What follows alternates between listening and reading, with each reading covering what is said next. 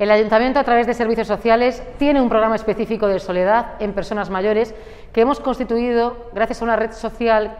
con la que se detectan los mayores que viven solos en Cartagena, sobre todo para dar voz de alerta y poner todos los recursos y medios necesarios para prestarles atención. Aunque ya tenemos servicios de ayuda y comida a domicilio, teleasistencia y también acompañamiento, nos preocupan sobre todo los mayores que quedan fuera del radar social, mayores que viven sin apoyo familiar o sin apoyo social. Ahora para esos mayores damos un paso más y estamos trabajando en un convenio entre la empresa que se encarga de la teleasistencia y el Ayuntamiento de Cartagena a través de Policía Local para dar acceso a la custodia de llaves de los usuarios del servicio. De esta forma se va a agilizar la intervención policial que junto con bomberos son los primeros en acudir a un domicilio en situaciones como esta.